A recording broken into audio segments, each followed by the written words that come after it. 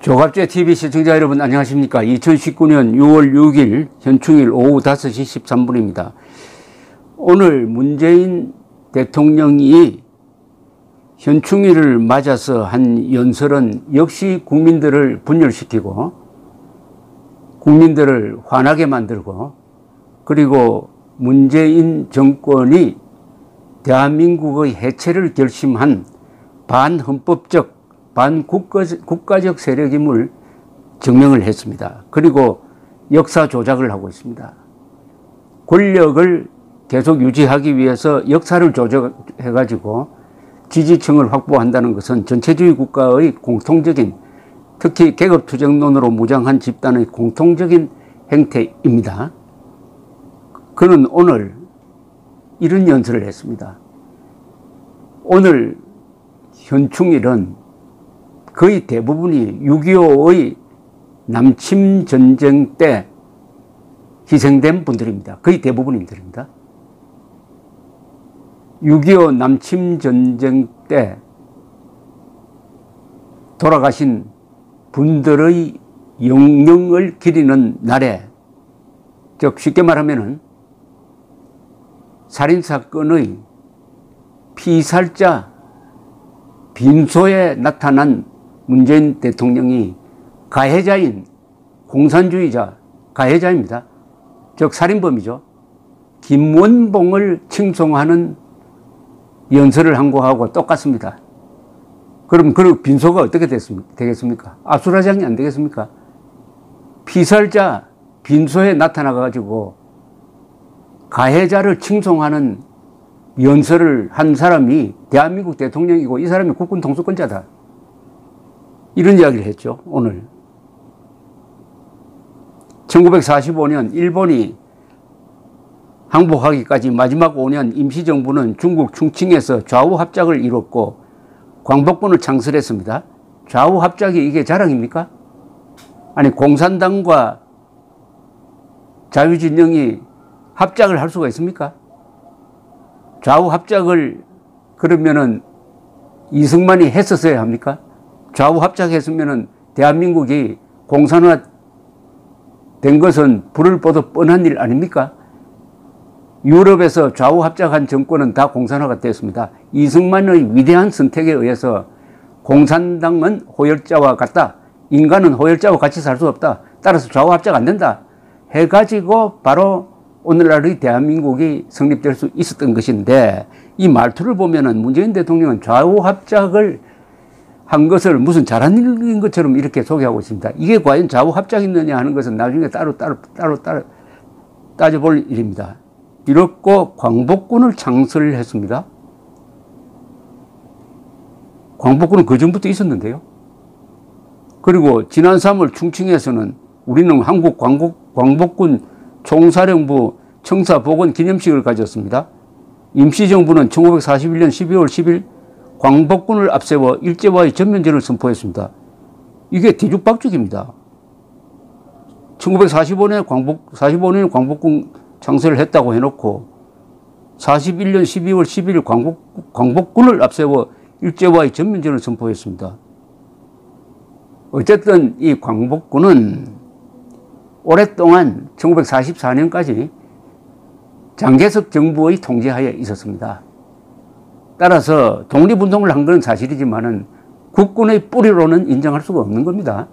다른 나라의 통치하에 있었던 군대가 대한민국 국군의 뿌리가 되면 되겠습니까? 광복군에는 무정부주의 세력 한국 청년 전지 공작대에 이어 약산 김원봉 선생이 이끌던 조선 의용대가 편입되어 마침내 민족의 독립운동 역량을 집결했습니다. 선생이라고요? 김원봉 공산주의자, 대한민국을 파괴하려고 했던 세력, 남침 세력인데 선생이라고요?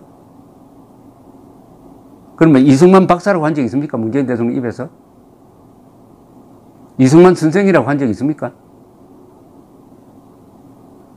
그 힘으로 1943년 영국군과 함께 인도 버마 전선에서 일본군과 맞서 싸웠고 45년에는 미국 전략정보국과 함께 국내 진공작전을 준비하던 중 광복을 맞았습니다.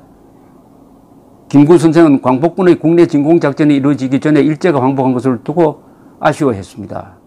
그러나 통합된 광복군 대원들의 불굴의 항쟁 의지, 연합군과 함께 기른 군사적 역량은 광복 후 대한민국 국군 창설의 뿌리가 되고 나아가 한미동맹의 토대가 되었습니다. 이것은 비약의 비약입니다. 대한민국 국군은 국군은 광복군과 관계없이 관계없이 대한민국 건국 과정에서 그동안에 광복군 했던 사람들까지 포함해 가지고 또 일본 군대에서 근무했던 사람들, 만주군에서 근무했던 사람들까지 다 포함해 가지고 오로지 신생 국가를 만드는 초석으로서 수립된 것이지 광복군이 더구나 중화 중화민국 장개석 군대의 통제하에 있었던 광복군을 국군의 뿌리로 억지로 갖다 붙이는 것은 이것은 우리 국군에 대한 모독입니다. 우리 국군은 대한민국 건국으로부터 시작된 겁니다. 대한민국 건국과 국군이 같이 가는 거죠. 왜 자꾸 광복군을 이렇게 무리하게 갖다 붙이고 이걸 또 한미 동맹의 토대가 되었습니다. 국군 창설과 한미 동맹의 토대가 되었다고 하는데 미안하지만 한미 동맹은 이승만 대통령이 미국을 멱살 잡고 자기의 정치적 운명을 건 국군포로 석방이라는 대결단을 통해서 이루어진 겁니다. 지난 4월 11일 대한민국 임시정부 수립 100년을 맞은 뜻깊은 날 미국 의회에서는 임시정부를 대한민국 건국의 시초로 공식 인정하는 초당적 결의안을 제출했습니다. 그런데 왜 4월 11일 대한민국 건국 100주년 행사로 기리지 않았습니까? 100주년 행사로 기리겠다고 약속해놓고 왜 안 했습니까? 그것은 김정은이가 싫어해서 이렇게 한 거 아닙니까? 김정은이가 조선민주주의인민공화국은 건국 70주년인데 대한민국이 100주년이라고 하면 기분 나쁘다.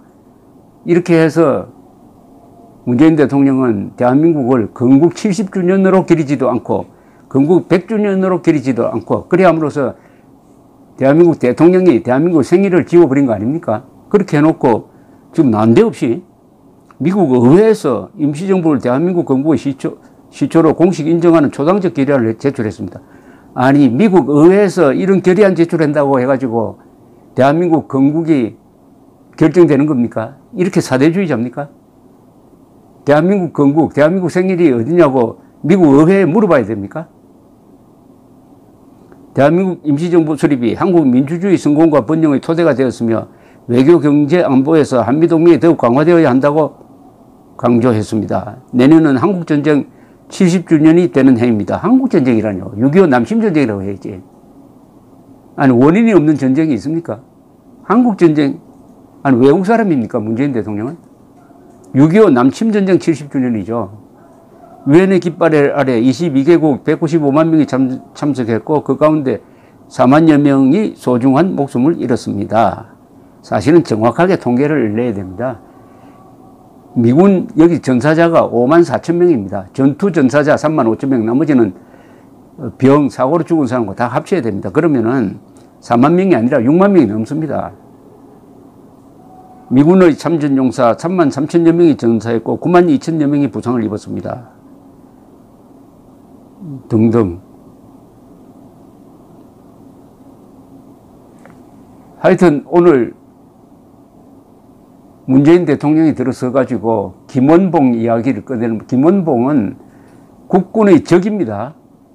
지금 군의 현충원에 묻혀 있는 영령들의 적입니다. 원수입니다. 원수를 선생이라고 축해 올리면서 축해 올리면서 대한민국의 역사를 조작하려고 했습니다. 그 이유는 뻔하죠. 앞으로 김일성이까지도 항일운동한 거, 그 하나만 딱 집어가지고 훈장을 주겠다 또는 면접을 주겠다는 뜻 아닙니까? 왜 문재인 대통령이 남침전쟁이라고 하지 못합니까? 그것은 지금 국립현충원에 묻혀 있는 사람들에 대한 모독이지 않습니까? 그분들은 문재인 대통령한테 물을 겁니다. 내가 왜 죽었느냐? 내가 누구 손에 죽었느냐? 내가 자살했느냐? 문재인 대통령은 기회 있을 때마다 한국, 대한민국의 영혼을 도려내는 대한민국을 분열시키는 역사를 조작하는 연설을 매일 합니다. 매일, 아, 매번 합니다. 5.18 때는 생각이 다른 사람을 독재자의 후예라고 규탄하고 더구나 지난 3월 1일 100주년 기념사에서는 난데없이 빨갱이 친일 친일 청산 운운하면서 국민을 분열시키고 작년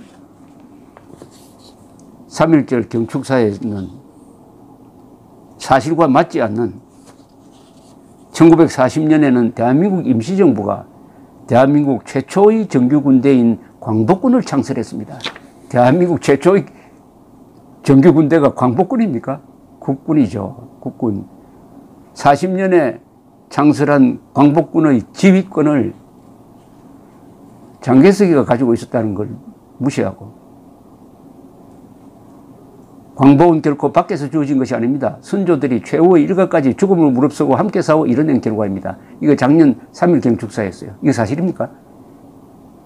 그러면은 연합군의 도움은 하나도 없었습니까? 원자폭탄 떨어진 거하고 한국의 해방은 아무 관계가 없고 오로지 독립운동 하던 사람들이 만들어낸 게 해방이었습니까? 역사 조작입니다. 역사 날조입니다. 이거는 역사는 있는 대로 이야기를 해야죠. 자, 이렇게 하는 이유는 문재인 대통령이 김일성주의자 신명복을 존경한다고 할 때부터 예견되었던 사실입니다. 즉, 공산주의를 악으로 보아야 할 문재인 대통령이 공산주의를 악으로 보지도 않고 적으로 보지도 않습니다.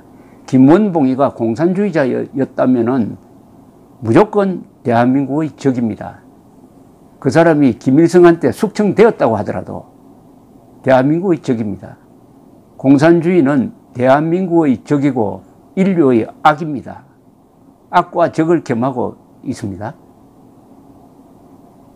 공산주의자가 항일운동 했다는 것은 맞을지 모르지만 독립운동 했다는 것은 틀린 말입니다. 공산주의자는 일제시대 때는 결국 소련을 위해서 봉사하는 자들이었습니다. 소련. 그 자들은 국가를 만들겠다는 사람이 아닙니다. 국가 위에 당을 놓고 국경이 없는 계급 없는 사회를 만들겠다고 하던 자들이니까 조국이 없는 자들입니다. 스탈린의 꼭두각시였습니다. 김일성 자체가 스탈린의 꼭두각시였고 모든 공산주의자들이 결국은 국제 공산주의자 공산주의 운동의 최고 우두머리인 스탈린을 위한 봉사를 했을 뿐입니다. 절대로 독립운동하지 않았습니다. 공산주의자가 독립운동했다는 말은 완전히 사기입니다. 계급운동한 거죠. 계급운동한 거죠. 김원봉이가 항일했다고 독립운동가가 되는 게 아닙니다. 항일했다고 공산주의자로서의 죄악을 용서받는 게 아닙니다. 그리고 항일했다고 해서 이자가 남침 전쟁을 일으킨 세력의 핵심 멤버였다는 사실이 역사에서 용서될 수 있는 것은 아닌 것입니다. 그럼에도 김원봉을 내세워 가지고 무슨 영화 드라마를 통해서 우리 국민들을 속이려고 합니다. 즉 공산주의에 대한 김정은 정권에 대한 경계심을 해체시키려고 하는 것이죠. 이것은 국군의 북한군을 북한 노동당 정권을 국군이 주적으로 가르치지 못하게 한 거하고 마찬가지입니다. 피, 전쟁 중인 군대에 피와 구분 능력을 잘라버리면 그 군대는 노무자가 됩니다. 노무자. 군중이 되어버립니다. 누구를 향해서 총을 쏘아야 될지를 모르게 됩니다. 그런 군대로, 그런 국가로 지금 만들려고 하는 것 아닙니까? 문재인 대통령의 오늘 이 배은 망덕의 역사 조작, 조작의 이 기념사는 문재인 대통령에 대해서 국민들이 결국은 헌법의 힘으로 문재인 대통령을 처리해야 되겠다 하는 생각을 굳히게 하였습니다. 헌법임이라는 것은 헌법을 전면적으로 위반하고 있는 점을 가지고 고발, 탄핵 또는 국민 저항 운동을 통해서 대한민국의 방공 자유민주주의 체제를 지켜내는 것입니다. 감사합니다.